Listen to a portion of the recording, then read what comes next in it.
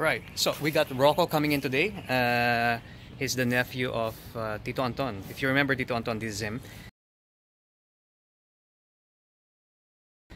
And then uh, Rocco just got his uh, bike, but he direly needs uh, help on his uh, bike fitting and biomechanical tuning. So here uh, we're back in in Manila for an early morning 7 a.m. Um, magic show. So uh, let's see how how much talent this guy can bring out. Okay. I haven't used it at all. You haven't used it at all. Okay, okay. Hop in. Let's check it out. Nice. When did they arrive? That's a classic, huh? Wow. Campagnolo. And that's the stem that you have? Okay. Like, how young are you, Rocco? 15. 15 years old? Yeah. What? How come you're so tall? Are you a chess player? Pico player? No? Okay. Okay, let's uh, set it up. Influenced by his uh, uncle, uh, as a 15 year old, Rocco wanted to um, sign up for his own biomechanical tuning program after watching some of our videos. And today, he uh, will be having his first bike fit after getting his first bike, uh, a road bike. And um, because this is a holistic solution, after the bike fitting, he would be getting uh, biomechanical tuning and then uh, coaching. And today, we're gonna find out if this whole program worked.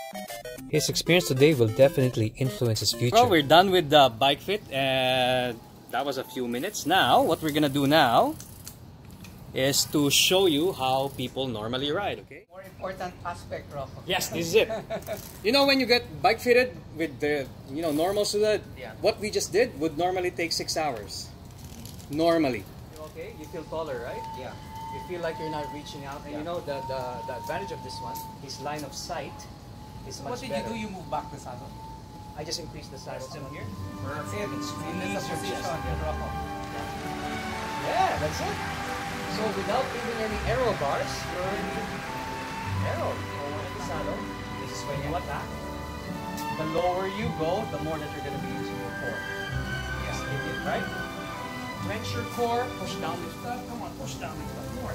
Lower, lower like this. Squeeze this. You need to feel this muscle. The more that you clench your core. So when I attack, like that. that's it. Or when you're going to those steepest of the steepest climb. Yeah. Now, because this is so well balanced, when you see the European pros trying to chase the breakaway, you put your wrist like this. Like, like Yes. Okay. The other one. Yeah. And then just go low. And that's it. You can ride the whole thing like that. Yeah. Open your fingers. Yeah, that's it. That's why when you look at the pros, it looks so smooth, my friend. faster, pa. Faster. Go. Right? Means now that we were able to shift his power on the center. This one now is not involved can now focus on speed. We're done. Okay. Okay. Ah, that is a perfect posture, bro. And you're 15 years old, right? You look beautiful, man. Beautiful. Beautiful. Can you show me that again? Can you go to the attack position? Ready? Move forward on the saddle. A little bit more. And then lower on the elbow. It's like you're trying to pull the. Yeah, that's it. Set. Go, go, go. Push down, lift up. Five. Four. Wow, no movement on the upper body. That's perfect. Recover. How do you recover? Slide back on the saddle. That's how easy it is. And then can you go to the aero bar position? Yep. And then the whole day you can just start chasing breakaway like that. Done. Okay. This is a custom made Pego ready. Okay, 15 year old, right? How tall are you? 510. 5'10! How come I was never blessed? How how come? Okay. Anyway. Rocco, you know if I was 5'10, I would be a Never mind. I would be a superstar. Anyway, uh, Rocco, okay. Uh, so after the bike fitting, after the biomechanical tuning, what we're gonna do now, Rocco, is that we're gonna test your climbing, okay? I'm gonna film it so that you can review it afterwards. I'm talking on the phone Yeah. or on the video so that this is going to be your reviewer, okay? So after the biomechanical tuning, I just want to explain to you, okay? Biomechanics is a different kind of a science, not bike fitting. It's like mechanical engineering, right? Mechanical engineering is the science of the relationship of moving mechanical bodies, and they have to blend together. Biomechanical tuning, on the other hand, is the relationship of a living body, you, Yeah. with the machine. And it has to flow smoothly. That's why when you look at the world tour level athletes, they ride with panache. Like they're like molded, okay? Now, after the bike fitting, after the biomechanics, we're gonna gonna test your climbing. And at the moment, you're now climbing on the big ring, okay?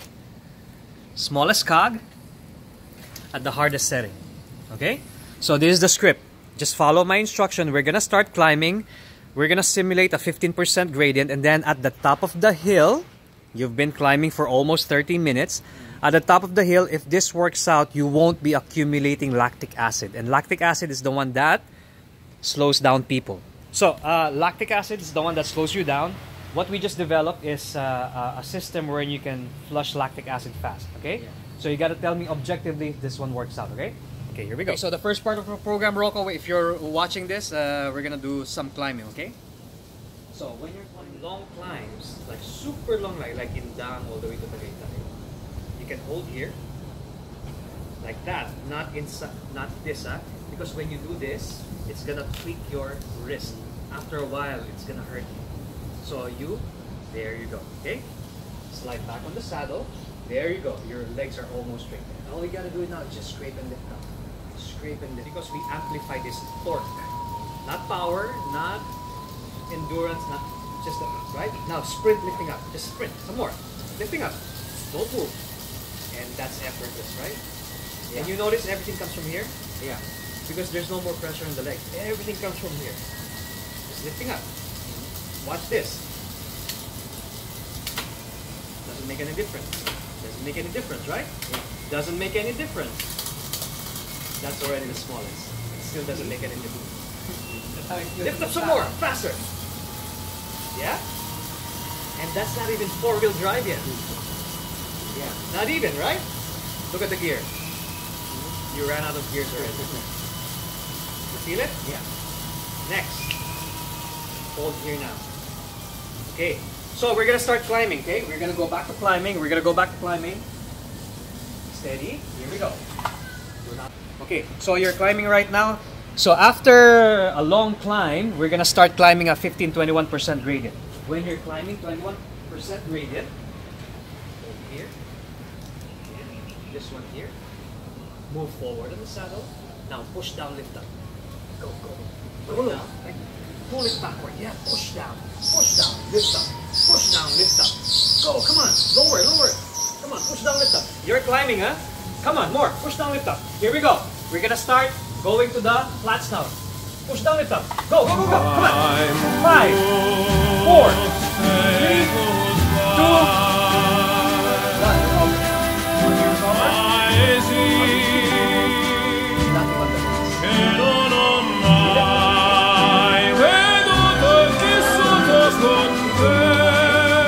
Then when you right? Now, to show you the magic of this one, what we're gonna be doing now to show him is that after climbing for 30 minutes sprinting on the top of the hill, he can now generate power and speed in just a few seconds. After 30 seconds, we're gonna sprint again. Go to the sprint position, move forward in the saddle, go low, squeeze your chest together, set, move forward, pa, tip of the saddle, set, go, go, go, five, four, three, two, recover. How do you recover? Gonna count 30 seconds again and let's see how you can flush the lactic acid again. Here we go. Okay, 30 seconds done. On my cue, go to your drops now.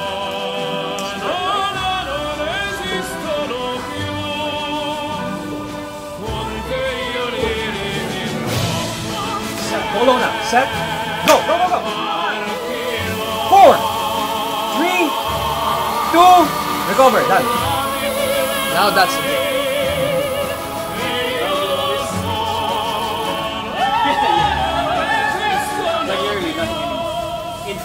It's so amazing that if I change your gear now, one, two, three, four. Just, that's just four. So simple, right? I mean, I, I realize you're, you're always looking at the gear because you literally ran out of gears. like nothing anymore in the big ring. 15 year old man, you're lucky. Thanks to our sponsor, this guy, and the influencer, that guy. Okay? You're lucky, man. 15 year old, 5 foot 10. Future. Next time we're gonna do triathlon, okay? Now it's addicting, right? Okay, get off the bike and try to feel your legs. Remember, you've been riding for almost 40 minutes. And now that's magic. Nothing on the legs, right? That's it. Done. Okay. Can we have a selfie together? Okay. Like he's like six foot ten thousand. One,